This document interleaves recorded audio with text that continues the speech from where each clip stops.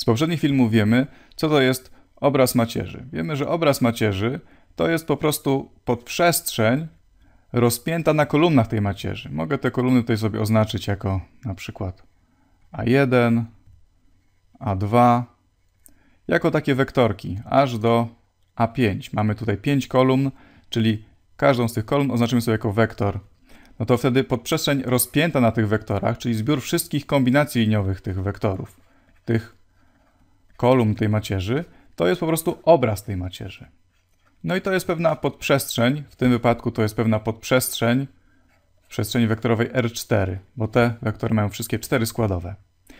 No ale ta definicja nie mówi nam na przykład, nie odpowiada nam na to pytanie, jaki jest wymiar tej przestrzeni, jaki jest wymiar tej podprzestrzeni. A żeby znać wymiar, no to musimy wiedzieć, ile elementów ma baza tej podprzestrzeni. No ale bazę nie znamy. Wiemy, że to jest podprzestrzeń rozpięta na tych wektorach, ale te wektory mogą nie być liniowo niezależne, czyli mogą nie stanowić bazy. Czyli teraz zastanowimy się, jak znaleźć bazę tej podprzestrzeni. Będziemy szukali bazy podprzestrzeni, która jest obrazem tej macierzy. No wiemy, że baza to jest układ wektorów, który spełnia dwa warunki. Te wektory, które stanowią bazę, są liniowo niezależne, niezależne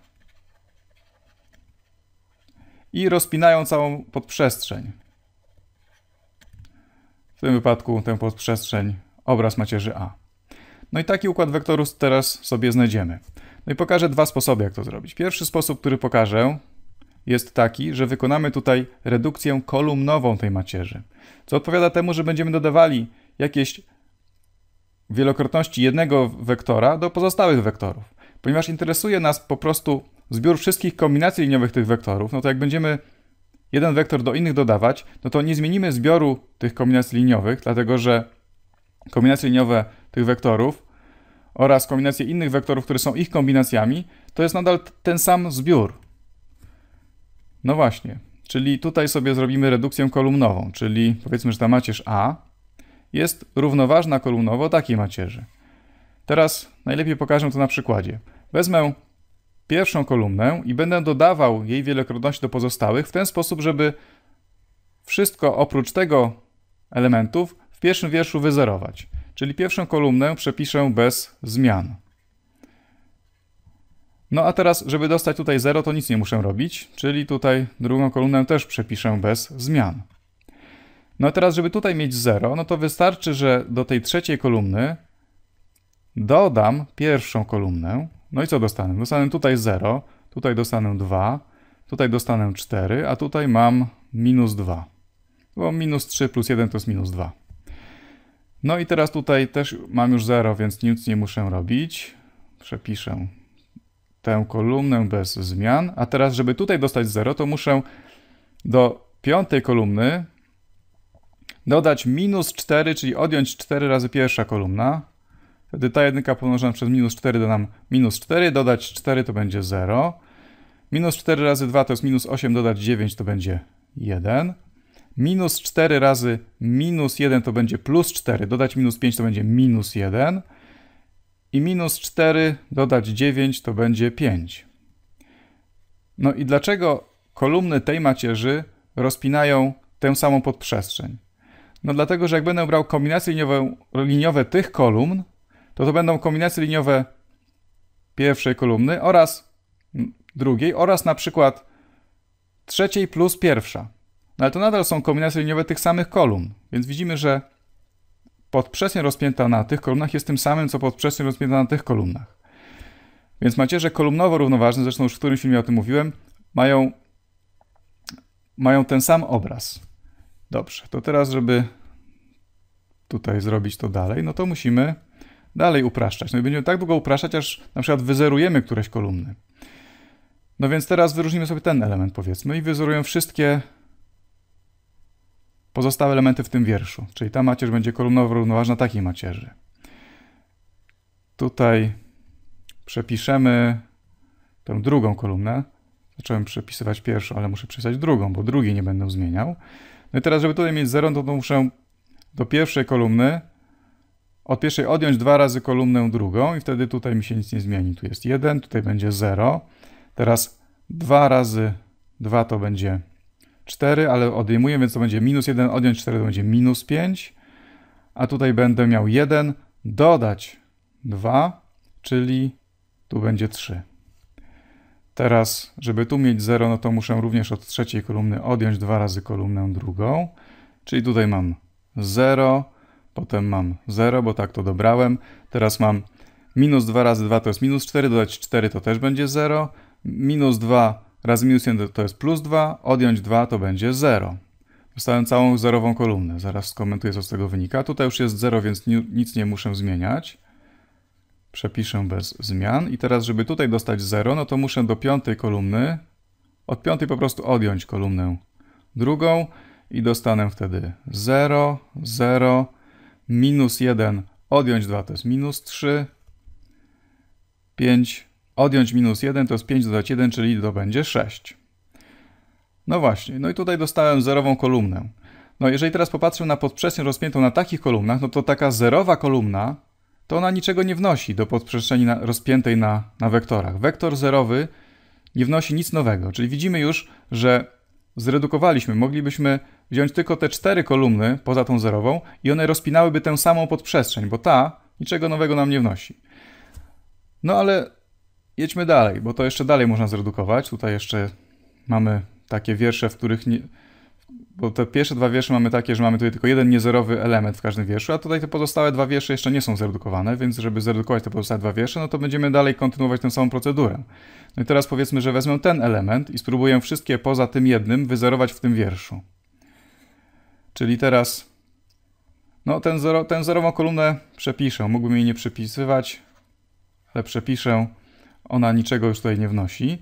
Przepiszę tę przedostatnią, bo będziemy jej używać do redukowania tych pozostałych trzech.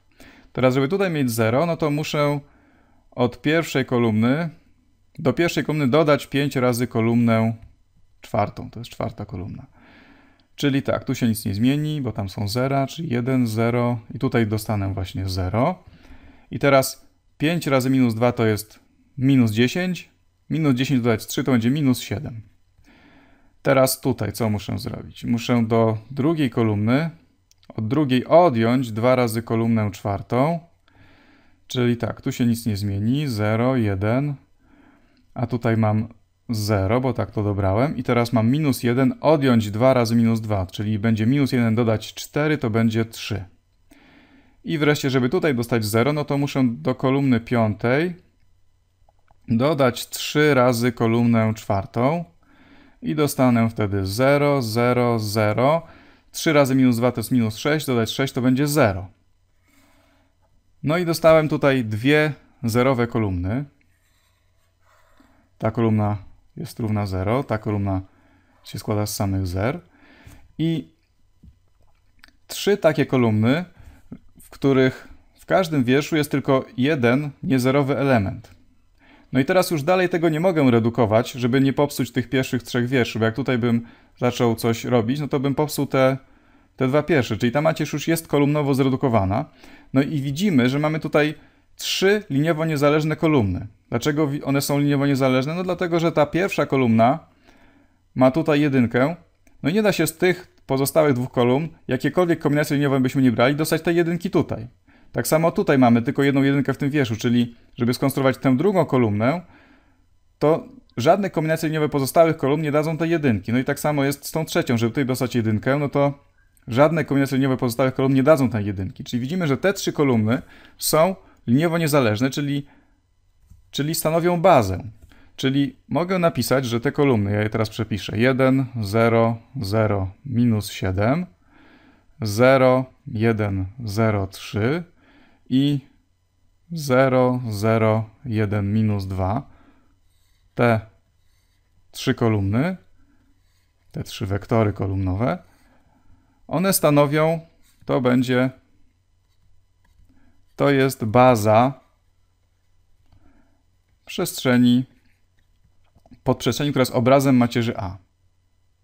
No i tę bazę znaleźliśmy wykonując redukcję kolumnową tej macierzy, czyli operacje elementarne na kolumnach, a jak mówiłem, operacje elementarne na kolumnach nie zmieniają obrazu macierzy.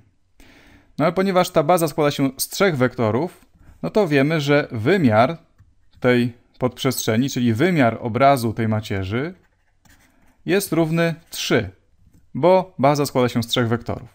No dobrze, powiedziałem na początku, że pokażę też inny sposób znalezienia bazy. No tutaj znaleźliśmy jakąś tam bazę, która się składa z wektorów, które nie są kolumnami tej wyjściowej macierzy. A teraz pokażę inny sposób, który pozwala znaleźć inną bazę. Po prostu znaleźć taką bazę, która się składa z kolumn tej macierzy, z wybranych kolumn. No już wiemy, że będą to trzy kolumny, tylko nie wiemy, które trzeba wybrać, żeby ten układ był na pewno liniowo niezależny. No to ja tutaj sobie po prostu wkleję jeszcze raz tę samą macierz i zaczniemy całą zabawę od początku. I teraz tutaj sobie wykonamy redukcję wierszową. Czyli tak, teraz znajdziemy wierszowo zredukowaną macierz równoważną tej macierzy. No to jak zredukować tę macierz wierszowo? No to powiedzmy, że znowu wezmę ten element i chcę wyzerować wszystko w tym, w tym wierszu. No to muszę od drugiego wiersza odjąć dwa razy wiersz pierwszy. Pierwszy wiersz przepiszę bez zmian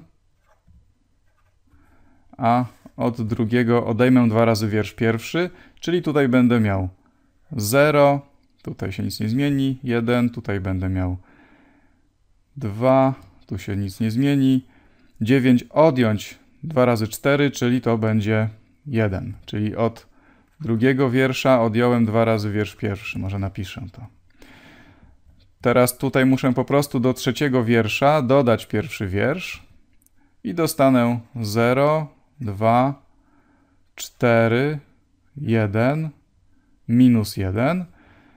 No i żeby tutaj dostać 0, no to muszę od czwartego wiersza odjąć pierwszy wiersz i dostanę wtedy 0, minus 1, minus 2, minus 2 i od 9 odejmę 4, to zostanie mi 5.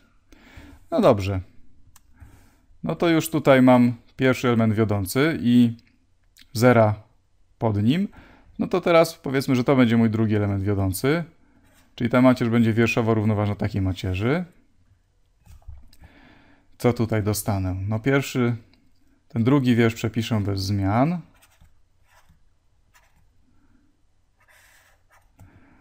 No pierwszy też mogę przepisać bez zmian, właśnie tak jak chciałem, bo tutaj już jest 0 w tym miejscu, w tej kolumnie.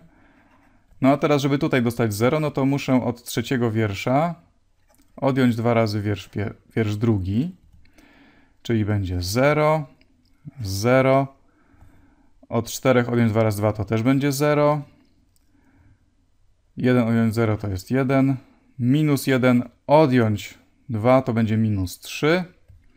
I teraz, żeby tutaj dostać 0, no to po prostu do czwartego wiersza muszę dodać wiersz drugi. No i dostanę 0, 0, 0. Tutaj będzie minus 2 i 5 dodać 1 to będzie 6. Dobrze, no i teraz to już chyba będzie ostatni krok. Tak mi się wydaje. Tutaj już mam same zera, czyli to będzie mój kolejny element wiodący. Czyli ta macierz będzie równoważna wierszowo takiej macierzy. Tu już są zera, czyli mogę pierwsze trzy wiersze przepisać bez zmian, bo tu nic się nie będzie zmieniało, bo będę dodawał 0. Znaczy, no bo tam już nie, nie muszę niczego wyzerowywać, bo już tutaj są zera. Ten przepisuję bez zmian, bo jego używam do redukcji pozostałych. No i teraz, żeby tutaj dostać 0, no to wystarczy, że pomnożę ten wiersz przez 2 i dodam do ostatniego, czyli tutaj zostanie mi 0, 0, 0, wtedy tutaj też będzie 0. 2 razy minus 3 to jest minus 6, dodać 6 to będzie 0. No i dostałem jeden zerowy wiersz. No i teraz zobaczmy, gdzie mamy nasze elementy wiodące. Nasze elementy wiodące to są te elementy, to jest ta jedynka, pierwszy schodek w tej schodkowo zredukowanej macierzy, pierwszy schodek w pierwszym wierszu, to jest tutaj kolejny element wiodący, i tu mamy trzeci element wiodący. Czyli mamy trzy elementy wiodące, mamy trzy niezerowe wiersze, mamy jeden wiersz zerowy. No i teraz ja tego już w tym filmie nie zdążę udowodnić, ale zasada jest taka, że bierzemy te kolumny z wyjściowej macierzy, które odpowiadają kolumnom zawierającym elementy wiodące w tej macierzy zredukowanej. Tu już mamy macierz schodkową zredukowaną. No i widzimy, że elementy wiodące mamy w pierwszej kolumnie, w drugiej i w czwartej. Czyli bierzemy pierwszą kolumnę, która odpowiada pierwszemu elementowi wiodącemu, drugą kolumnę, która odpowiada temu drugiemu i tę czwartą. I te trzy kolumny są liniowo niezależne i rozpinają tę samą podprzestrzeń. Te kolumny stanowią bazę obrazu tej macierzy. Czyli te kolumny, pierwsza, powiedzmy, że sobie po prostu je oznaczymy tak jak oznaczyliśmy, że to jest A1, to jest A2, a to jest A4, żeby nie przepisywać. No to wiemy, i to pokażę w kolejnym filmie, że tak jest. Teraz to po prostu przyjmiemy jako fakt, który udowodnił w następnym filmie, że ta podprzestrzeń, że bazą tej podprzestrzeni jest zbiór wektorów A1, A2, A4, nie A3, tylko A4. Te wektory stanowią bazę tej podprzestrzeni. To jest baza tej podprzestrzeni. Po prostu te kolumny, które odpowiadają kolumnom zawierającym elementy wiodące w macierzy schodkowej zredukowanej. No i w następnym filmie pokażę, dlaczego te trzy wektory stanowią bazę, czyli dlaczego są liniowo niezależne i dlaczego rozpinają tę samą podprzestrzeń, dlaczego możemy tę kolumnę trzecią i piątą pominąć. To jest oczywiście inna baza niż ta, którą znaleźliśmy w pierwszej części filmu, no ale nie ma w tym nic złego. Każda przestrzeń ma bardzo wiele baz, ale to, co jest ważne, że ta baza ma również trzy elementy. Czyli widzimy, że potwierdza się to, że ta podprzestrzeń, obraz macierzy A jest trójwymiarowa.